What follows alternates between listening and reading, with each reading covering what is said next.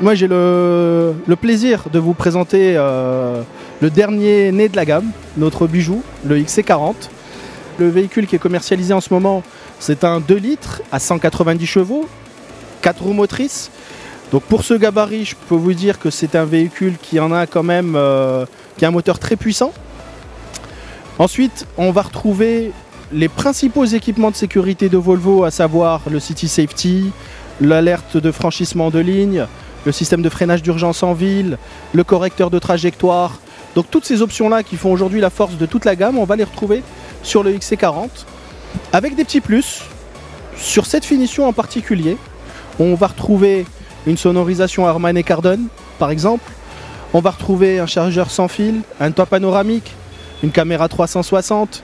Donc vraiment un niveau d'équipement très poussé, euh, de sorte à vraiment nous différencier de ce qu'il y a aujourd'hui sur le marché marocain. Ensuite, au niveau intérieur, on va retrouver le standard Volvo, donc des sièges électriques avec euh, du cuir, euh, une fonction mémoire à deux positions.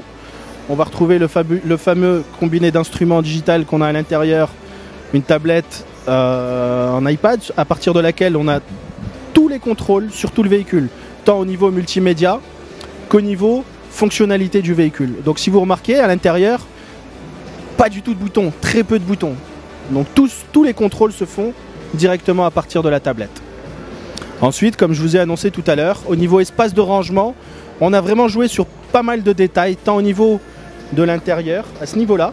Donc avant, on avait des enceintes qui se trouvaient à ce niveau-là. Maintenant, les enceintes, on les a remontées un petit peu, de sorte à pouvoir avoir un espace beaucoup plus important à ce niveau-là. Pareil au niveau de l'arrière, Pareil au niveau de la boîte à gants dans laquelle on va avoir un petit crochet.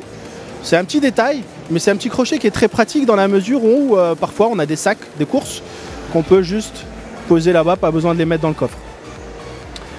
Un coffre de 432 litres, qui est un coffre quand même assez, volumineux pour, euh, pour la gamme, mais qui est compensé encore une fois par tous les espaces qu'on retrouve à l'intérieur.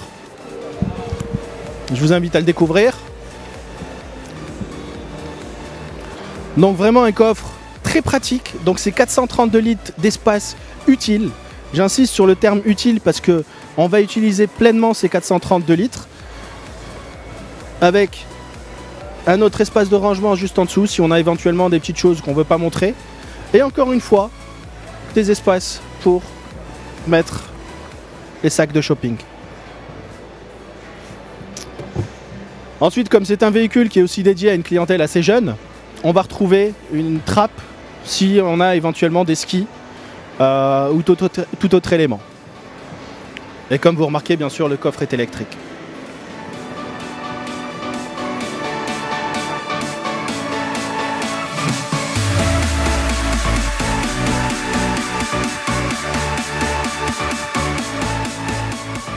Autre nouveauté euh, lors de, de, cette édition de l'Auto Expo, c'est la S90 en finition air design. Donc nous étions euh, habitués à avoir sur le marché une finition momentum et une finition inscription. La finition sportive nous manquait.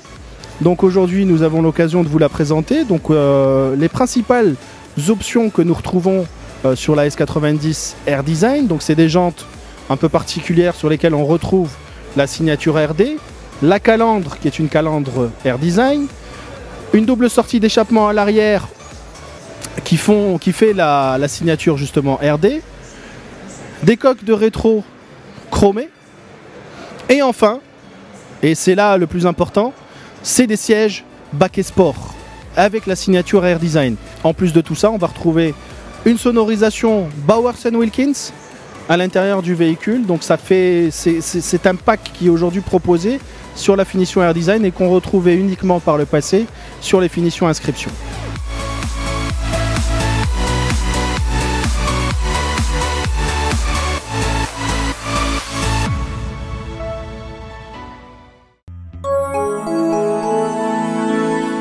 Très vite sur wandelo.com.